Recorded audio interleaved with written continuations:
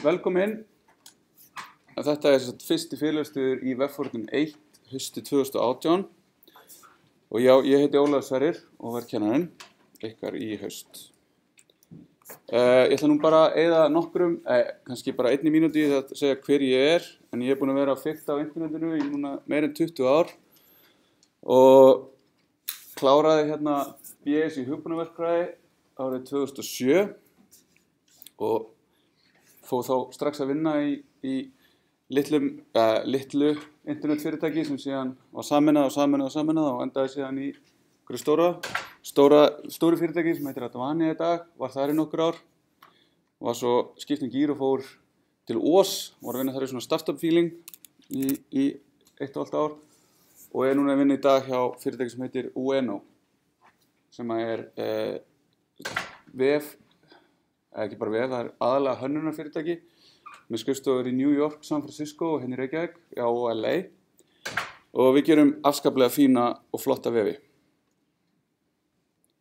Eh, kannski aðeins um, um ykkur svona alltaf gott að fá smá senn svona í byrjun á það hvernig hópurinn er en það er réttið pönd hversu mörg ykkar hafa skrifað HTML ok, það er nú alveg 20% en CSS það er sama, það er svona greinlega einhver hópur hérna sem hefur fyrkt það.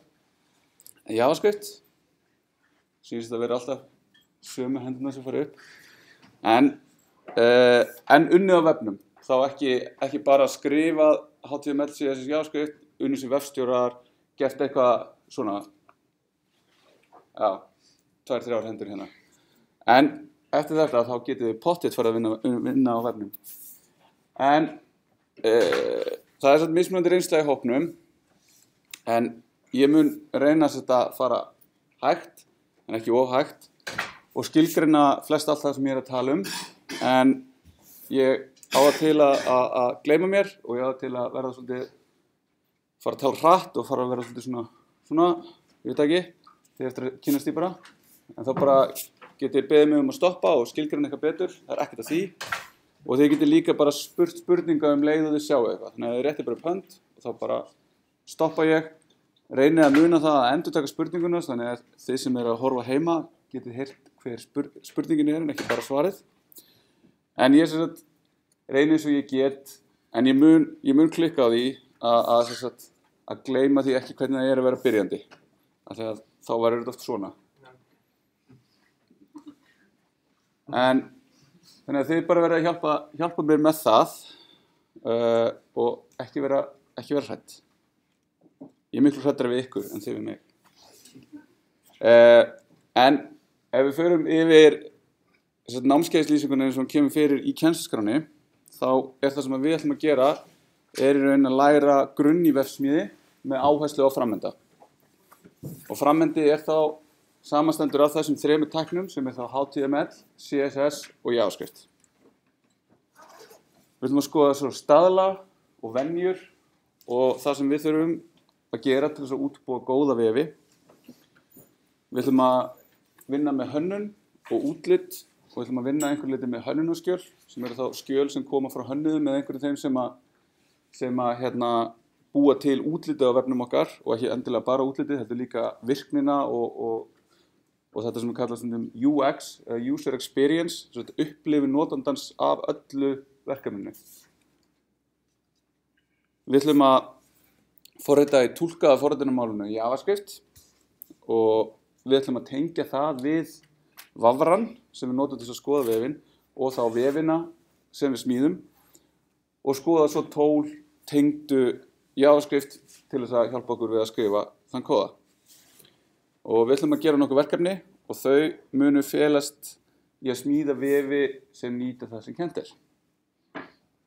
Hæfni viðmiðin eru þau að þið eitthvað sem ljúkið þessum námskeiði eigi að geta þróað aðgengilega og merkingafræðilega góða vefi með HTML, styrt útlitið með CSS og kunna skil á nýjustu ströymum og stefnum, stefnum í vefhönnun, skilið og skrifað forrið sem nýta jáskrift til að auðga vefi, skilið mun á framenda og bakenda og hvernig samskiptum þar á milli er háttað með HTTP. Þannig að þetta er svona formlega skilgjörningin af því sem við ætlum að fara að gera hérna í haust. En kennsluáallunin uh, lítur þannig út, svona, hún er ekki alveg full mótið hjá mér, en við munum taka núna þessa og næstu viku í HTML og þar munum við tala um bara vefinn aðeins og hvernig þetta var allt til og vefforutun og hvað það er í raun. HTML sem tækni og, skil, uh, og staðal. Og þar með talið element, hvað er það sem við, við notum þegar við erum að, smíða, að skrifa HTML, merkingafræði, hvernig þessi element hafa einhver ákveðna merkingu sem við þurfum að hafa í huga þegar við erum að skrifa, aðgengi sem er þá í raun hvernig getum við gert vefi sem að allir geta nýtt, sama þá hvort að við séum að litlum, litlum uh, litlu tæki, stóru tæki, hvort við notum uh, sjón eða eitthvað annað til þess að upplifa vefinn. Og SEO sem er þá uh, markaðstengda tengdi parturinn af þessu eða Search Engine Optimization. Eftir að klára það þá ætlum við að taka fjórar vikur í CSS og þá ætlum við að læra raun, hvernig syntaxinn og, og hvernig þetta virkar specificity og cascade sem er mjög svona sért, sértækt í CSS box model sem er leið til þess að setja hlutinu upp fara síðan betur í það hvernig við getum eh, látið hérna ymsul hluti breytast, breytum letur látið skilgjörð hvernig textun okkar lítur út hvernig við stillum þessu öllu saman upp á skjánum. Við munum búa og læra hvernig við hefum að útbúa skalanlega vefi og skalanlega myndir og skalanlegt efni eins og vídeo og svona og nota dev tool sem eru svona tól í vöfrun sem hjálpa okkur við það að smíða þessu vefi.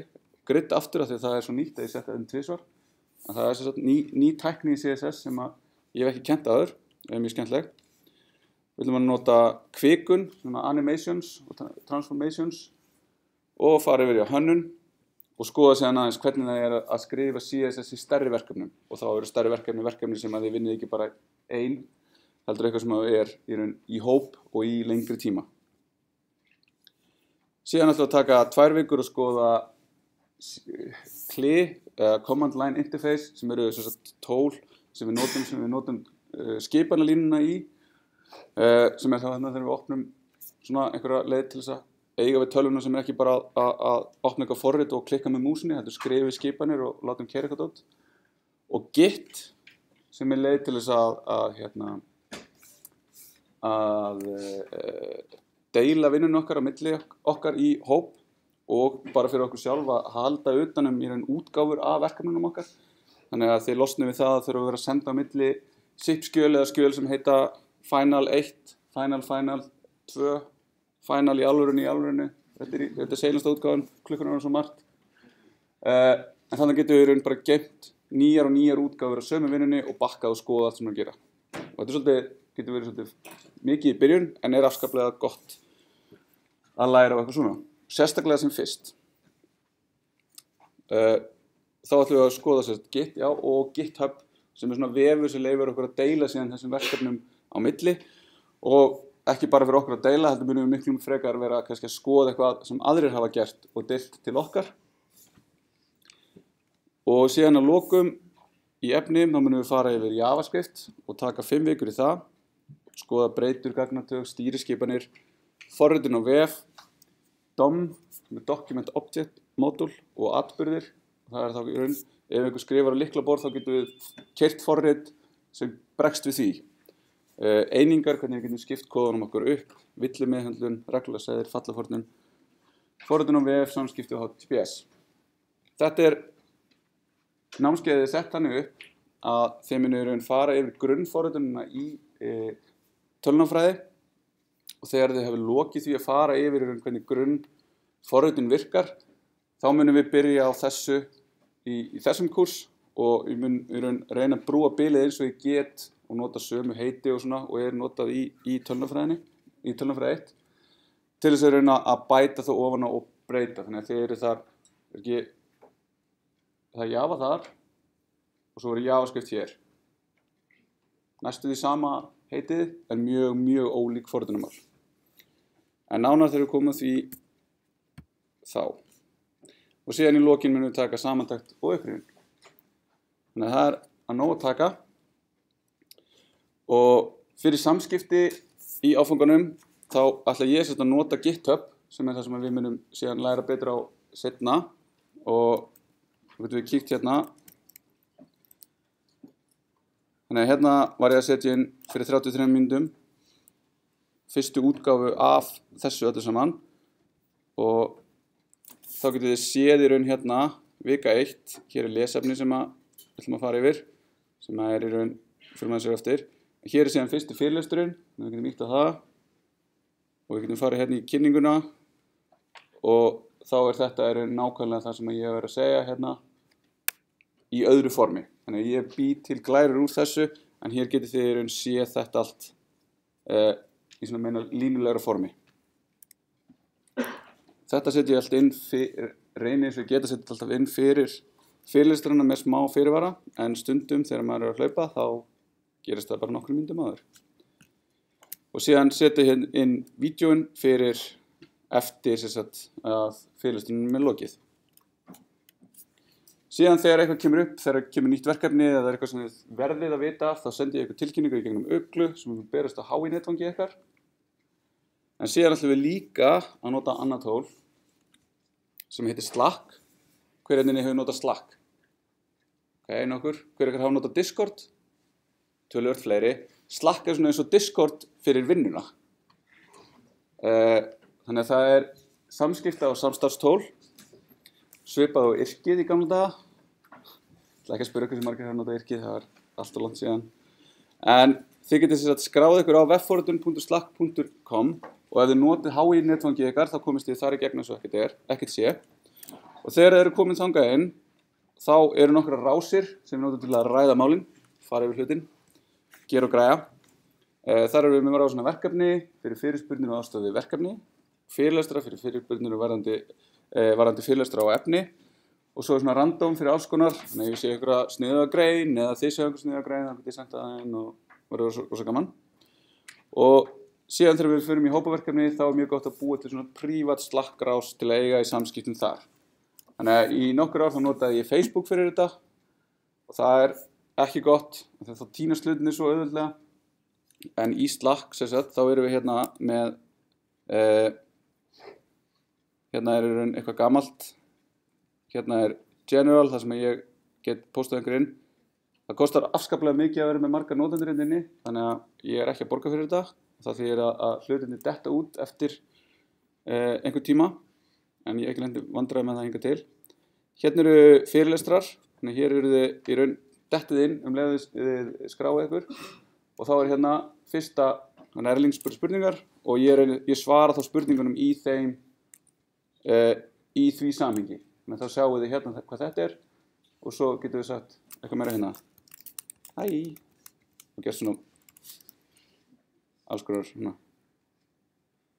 Uh, svona. Og þá getur þið rætt saman hérna. Síðan getur þið fundið mig og dæmatímakennarinn eitthvað hérna. Þannig að ég er hérna OSK. Þá getur þið sendt mér uh, hérna enga skilbóð, þið getur DM-a mig hér og þá getur ég tala við ykkur og þau getur spurt með einhverju og ég, ég svaraði ykkur. Og ég nota þetta mjög mikið, ég nota þetta í öllum mínu verkefnum vinnu, upp í vinnu og svona. Þannig að ég er freka mikið við hér og þetta er í raun besta leiðin til að hafa samskipið við mig til að fá, sam, hérna, fá svar sem fyrst. En svo getur við þetta sendt með tölupóst eða tala við mig eftir tíma eða, eða eitthvað svona. Uh, Já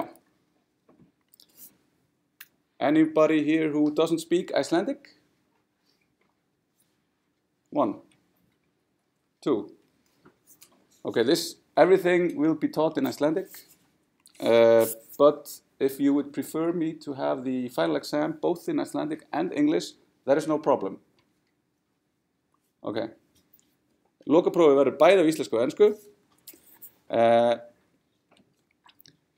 síðan er þetta í raun byggt á fyrstu útgáðun af þessum kurs í fyrra en það eru svona fleiri eh, kursar til og þeir eru með eh, flesti með vídeo af öllu saman en ég lít svo á að þetta sé alltaf, ég sé alltaf með bestu útgáðuna er útgáðun sem er í gangi en þið getur skoða hérna hvað er framöndan þetta verður 80-90% sama efni eh, þannig að þið getur skoða hvað er framöndan en fyrirlestunir eru svo að hér í þessar stofu klukkan þrjú og það versta af þessu stofu er, ég kent þetta í mörg ár og ég er alveg 100% vissum að það er ekki hægt að opna glugga, þannig að það verður mjög þungt loft og þau geta verið mjög sljó eftir eh, nokkra fyrirlestra, en við reynum að gera bestu því. Og ég hef ekki ennþá klikkað á að taka upp, en aftur tölfur, það getur allt gerst.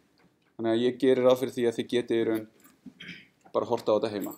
Og er, ég hef ekkert á móti því að þið gerir það bara. Uh, já, og ég hef með playlista sem ég seti þetta bara inn á YouTube og þá ætti þið, ef þið subscribe á mig það, þá sjáu þið bara um leið út af detturinn og getið fylgst með. Dæmatímanir munu sett, vera bæði hópaskipting og upplýsingar um dæmatímakennara og stofuna þeirra verða komin á uglu og það er ennþá bara fyrstu, fyrstu dagarnir, það er alltaf smá svona kás og það mun vonandi liggja fyrir bara setni í þessari viku. En það eru engi dæmatímar í þessari viku en þeir munu byrja í næstu viku. Og ég munir hérna gefa út dæmitíma hópa og ef þið viljið skipta af því þetta er svo erfitt í svona stórum hóp þá vil ég vinsalegast finna einhvern annan og láti mig bara vita x ætla að skipta uppslugum og þá get ég bara breytti í, í skráningunni hjá mér en að ég fara að reyna að vera einhver e, bróker fyrir því að það gengur áskaplega illa Það verða þess að verkefni og þau, ég reyna að byggja þau á raunverulega verkefni sem ég hef vunnið og þau geta verið tímafreg sérstaklega þegar þeir eru að byrja í CSS þá ætlum ég bara það besta sem þið gerir er í raun bara að byrja sem fyrst og komast það í hvað er flókið og spyrja spurninga ekki gera það daginn áður en þið skila af því að þá það verður, það verður allt svo miklu erfæra þannig að þið byrjið bara að skoða hvernig þetta er reyna að, reyna að hérna, fá tilfinningu fyrir hversu stórt verkefnið er og, og hvað þið þurfum að, að skoða betur og hvað ekki skoða það síðan aðeins og reyna það frekar að vinna vinnuna í lokin. Uh, og það er betra að skila skila verkefni en ekki þannig að þið þurfum ekki að skila fullkomnu verkefni sem gerir nákvæmlega allt sem beður um. Og þannig að gerir þið það. Og þetta var þess að tólverkefni tíu smerri og tvö hópverkefni smerri verkefnin verða sett fyrir og kynnt í fyrirlestri vikulega og skila síðan cirka viku setna. Fyrir fyrsta verkefni, út af því að það er ekki dæmitímar í þessari viku, þá hafið þið tvær vikur, cirka tvær vikur fyrir það. Uh, og það er einfaldasta, langa einfaldasta verkefni, þannig að það er bara þess að koma okkur vel á stað. Uh, og það sem getur í raun verið, þið þurfa að setja upp forröndin ykkar og, og, og, og svona komið svo alltaf stað. Þannig að það er í raun, þess vegna er svona, er þetta bara einfald, þetta er bara til þess að komast á stað. Síðan mynda aðeins verða þingra og svo þingra. Og átta af þessum verkefnum gilda 3,5% hvert, samtals 28% af lokaengun, þannig að þið getið mista af tveimur verkefnum. Þið megið ræða saman og vinna saman verkefnin, en skrifið og skilið ykkar eigin lausn. Ef að dæmtífum kennar að sjá eins lausnir, þá eins þó að það séu kannski búið að breyta, ykkurum, breyta struktúrum á einhverju kóða, breyta nöfnum á einhverjum breytum, það verður frekar auglust til að vera að fara yfir mörg verkefni og þá mun munum bæði öllu verkefni sem eru eins það verður bara 0 á það. Þannig að skrifið ykkur eiginlaust talið saman, vinnið saman gerið kóðabúta saman og svona en heldinn verður að vera ykkar. Þegar svo komum við hópverkefnin og þau verður tvö og gilda 11% hvort þau verður sett fyrir og skila cirka 2 vikum setna og þau getur unnið í hópum 2-3 saman, getur verið fleiri En þetta er alltaf hugbúin að gera því sjálf, sjálfdans einstaklingsvinna uh, og það er mjög gott að læra og vinna þessi verkefni saman og nota þessi tól saman. Og þá munum við gera þetta eftir að við höfum lært á Git og þá munum við nota Git til þess að, til þess að uh, vinna þetta og setja verkefninu upp á GitHub. Og þið getur gert það núna eða bara setna þegar að, að kemur að þessu.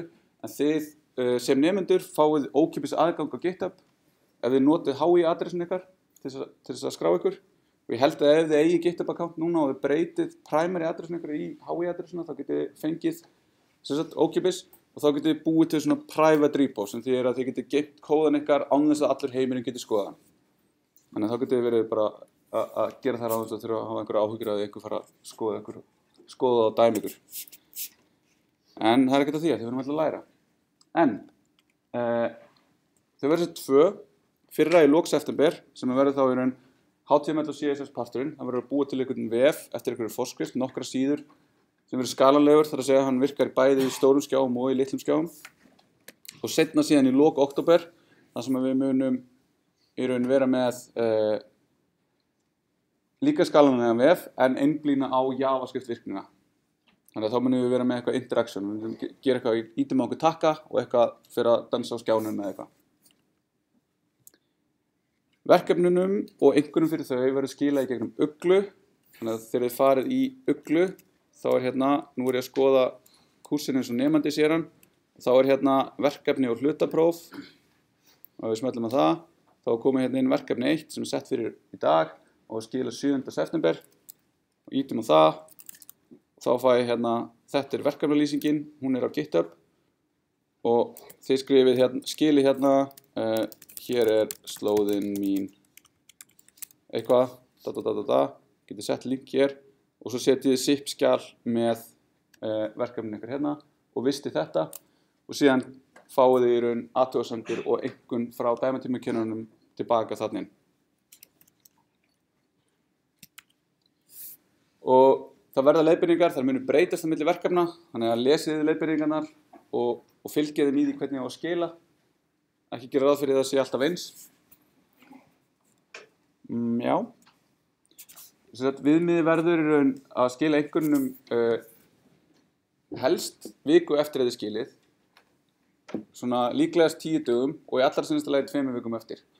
Þannig að ég, ég mun fylgjast með hvernig gengur þetta nefndum kjörunum að skila en það er hérna Þannig að eftir tvær vikur þá megið þið endilega fara að láta mig vita ef ég er að missa af einhverju og láta mig vita að það sé einhver sem er ekki að skila og jafnvel fyrr að þegar við viljum, raun, viljum halda góðu, uh, góðu feedbacki á það sem þeir eru að gera fyrir næsta verkefni. Uh, ég byrjaði fyrir að búa til handrita kennslubók eftir að hafa ekki fundin eina góða bók svona sem að kaupa nema þá þrjár og allar ekkert, já. Þannig að ég, ég er að, í því og það er hérna á GitHub. Þar eru kaplar fyrir HTML og CSS og ég er að vinna í kapla um JavaScript. Sjáum hvernig það gengur. Síðan ætlum við að lesa aðra bók sem heitir Resilient Web Design eftir Jeremy Keith. Og það er ókipis bók um vefin á webnum hún fyrir meira svona í heimsbyggilegar pælingar varandi vefin uh, hún er ekkert svakalega laung en hún svona fær mann aðeins þess að hugsa um það hvernig hvernig vefurinn er og, og hvað við erum að gera og svona. Þetta er svona gott að mótið því að vera að skoða rosa hvernig á að forða allt og gera allt að hugsa síðan um af hverju eru við að þessu. Síðan er þegar við förum í áskiptkablan eftir því hversu vel mér gengur að skrifa eitthvað uh, þá er til bók hérna sem er líka ókipis sem heitir Eloquent JavaScript og er komin hérna í þriði útgáfi. Ég hef kent hana síðan í fyrstu útgáfi og hún er bara mjög fín. Hún er svona, svona smá vangatar með hversu djúftu fariði eða, eða of djúft í ákveðinu hluti að mínu mati. En, en hér er alltaf fariði yfir sagt, JavaScript bæði forðunarmálið og síðan að vinna með, með það í vafranum.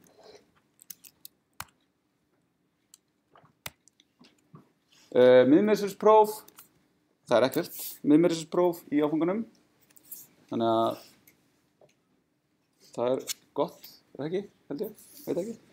Uh, en á samanskapi þá eru móti þessi hópaverkefni sem eru þá, þannig þið þurfum að gera ráð fyrir því að, því að þetta verður, þetta verður smá hlaup hjá okkur og þetta verður, það verður mikið að gera, þannig að skipulag er, er mjög krítist. Uh, lokaprófið, þannig að ef þið skoðið fyrir áfanga þá mun það verða svipað. Held ég ennþá, ég ekki, ég sé enga ástæð til að breyta því eins og er. En það verða erinn krossaspurningar forrætturspurningar og reitgerðarspurningar þannig að þetta er erinn að henda svona uh, fyrir flesta. Sem finnst mjög erriðt að skrifa reitgerðarspurningar öðrum forrætturspurningar en svona ná þess að vera blöndu þá ætti það að þetta vera eitthvað fyrir alla. En við fyrir nána við það þegar hann er dregur lokaprófi og einhverjum mun síðan vera að helming fyrir verkefnin og helming, helming lokapróf. En fyrir bæði gildir að þið verða að ná lámars einhvern 5. Þannig að þið er ekki að skila verkefnum upp á 3 og fá 10 á prófinu. Þá munir þið falla. Þannig að þið þurfum að skila báðu.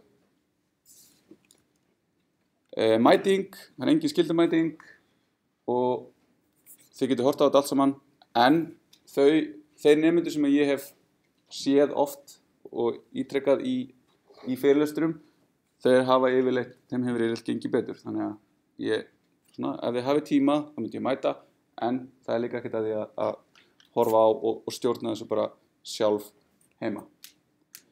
Uh, Já, þetta er ekki meira um þetta. Einhverju spurningar? Hvernig virka dæmatímanir? Við erum, ég mun setja fyrir dæmatíma setja fyrir verkefni hér og ég mun se, e, leifa ég mun svona gefa dæmatímakernunum forskritaði sem þau geta farið yfir. Því þessi fyrstu tíma dæmatímum hjálpa til að setja upp textaritla, setja upp FTP-fórið sem við þurfum að nota aðeins í byrjun og hjálpa fórið, fólki bara svona komast á stað. Hvernig er ég að skrifa þetta skjál og vista það og geta opnað það og breytti og, og allt svona. Og síðan í raun verður þetta aðstóð við verkefnin sem eru líka fyrir og yfirferð á verkefnunum sem að, uh, er búið að skila og fara yfir. Uh, þannig að þið stjórnir svolítið, það verður ekki, ekki ykkur svona, ég mun ekki leggja, verður ekki að laða fyrir uh, ykkur svona dæmatíma verkefni, heldur er þetta meira bara að vinna í verkefnunum sem eru. Þau, eru, þau taka nú mikinn tíma og þau eru í raun, þau eru bestalegin allavega til að, læra, til að gera þetta. Svo ég í minni reynst allavega. Önnur spurning, Akstar?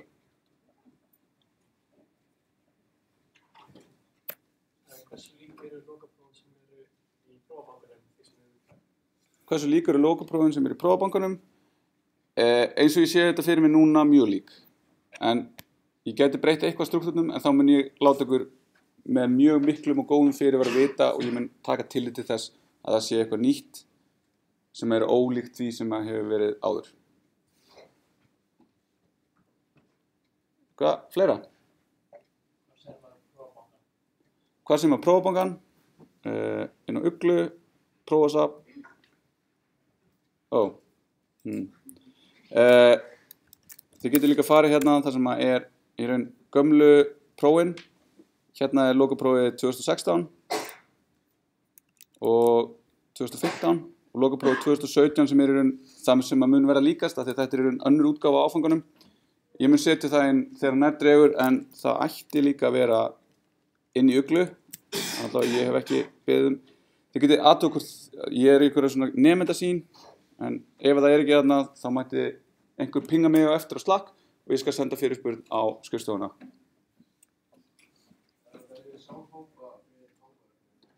Veljiði sjálf hópa? Nei, ég mun í raun til þess að geta drift betur þá mun ég í raun setja upp hópana Nei, fyrir ekki, fyrir hópaverkefni, já, þið munir velja sjálf.